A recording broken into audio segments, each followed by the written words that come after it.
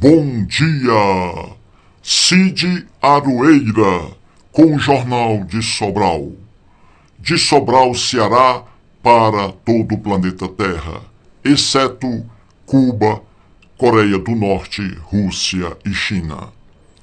O psicólogo brasileiro Edson Martins, de Rio Grande da Serra, no estado de São Paulo, em reportagem neste jornal, afirmou que é contra o namoro à distância de qualquer homem em relação às mulheres.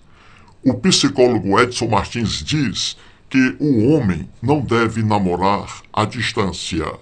E por quê?